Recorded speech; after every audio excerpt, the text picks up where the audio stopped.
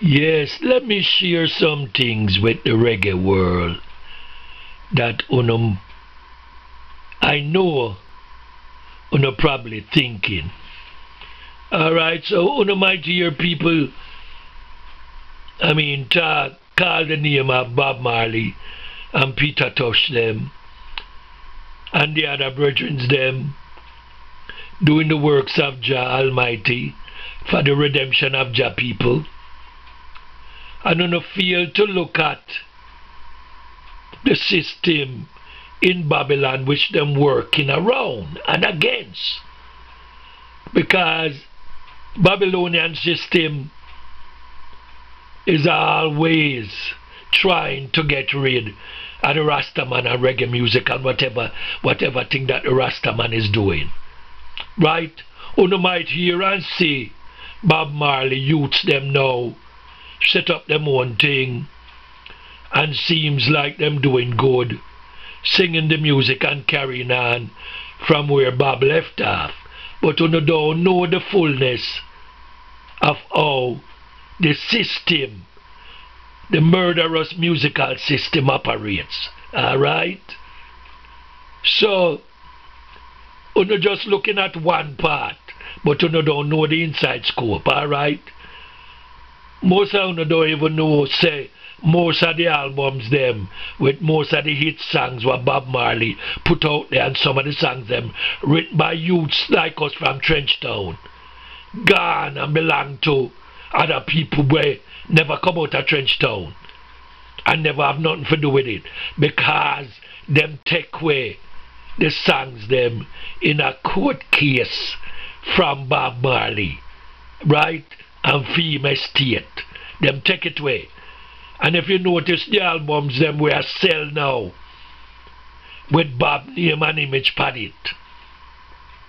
Most of them songs there a Trenchtown man them song.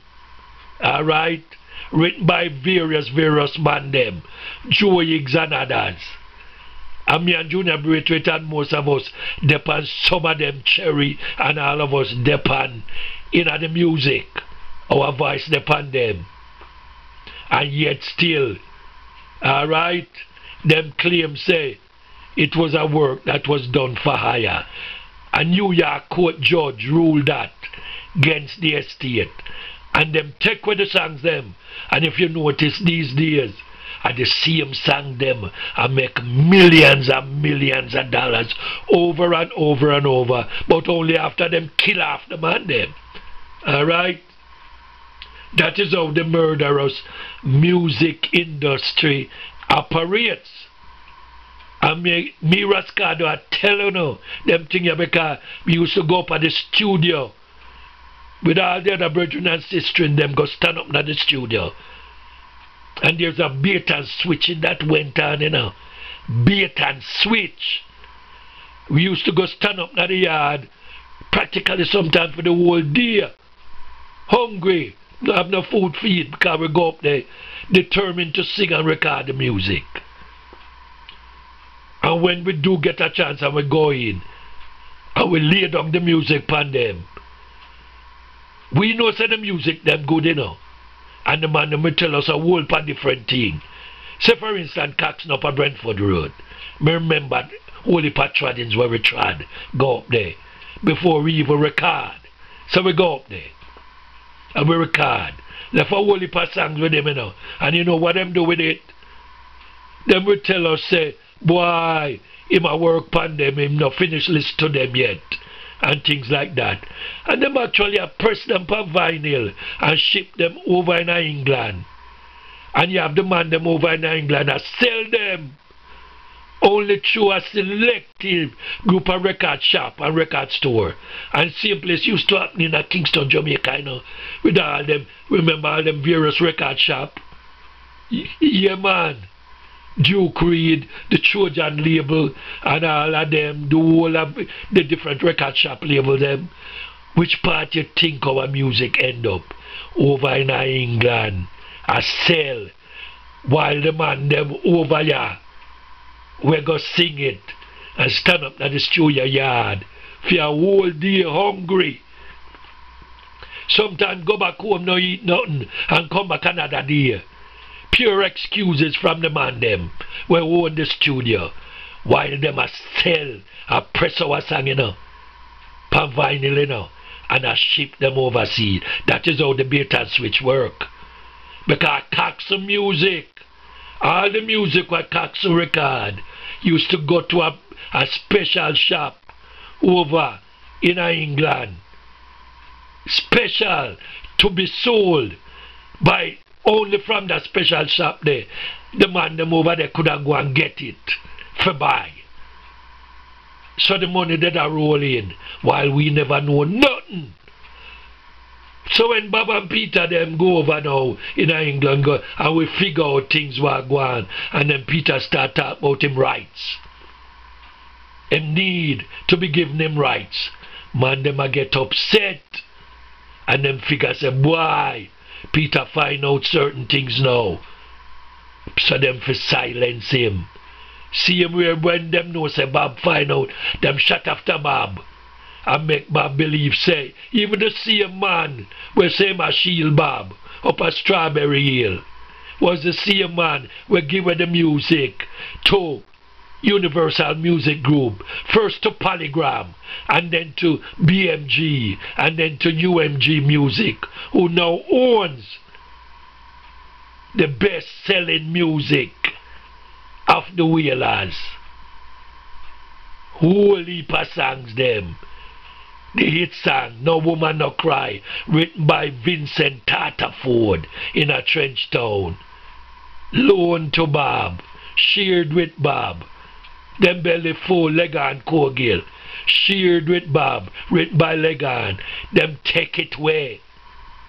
And claim say it was a work done for hire. Which means say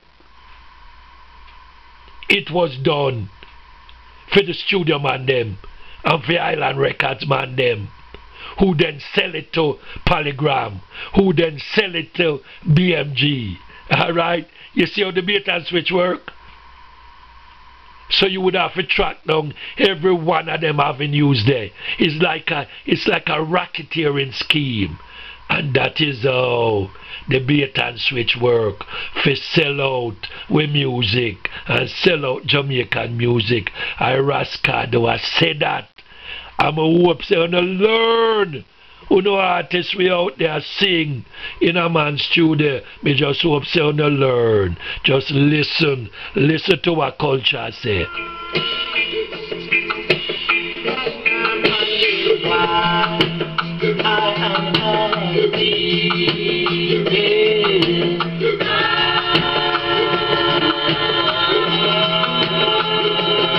Yes, Rastaman.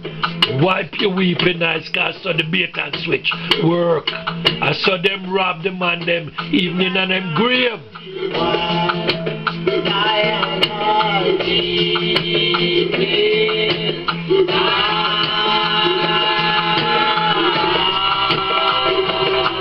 Classic bait and switch. Yeah man. Them sell out with music.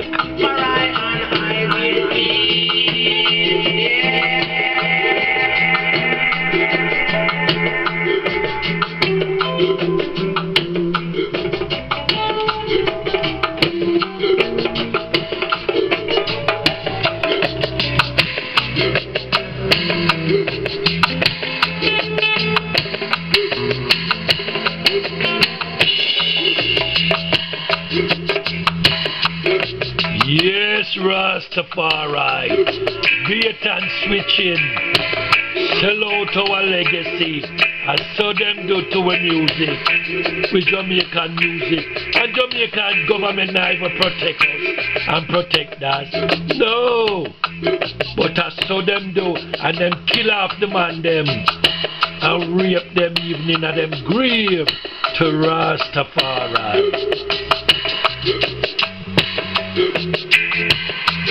Yes, culture. Talk to them.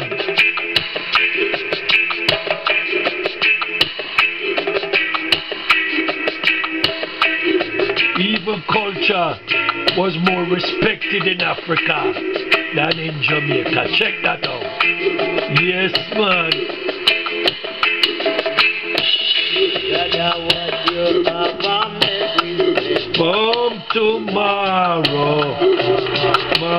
Zion, I tell them.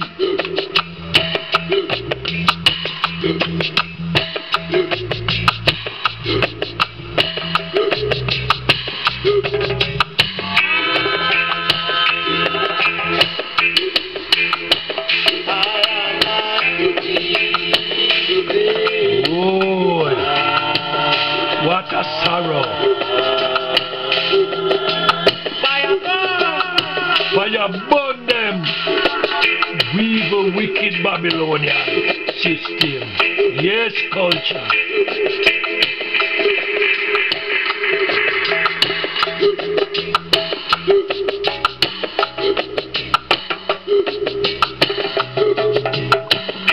Rastafari know. Culture.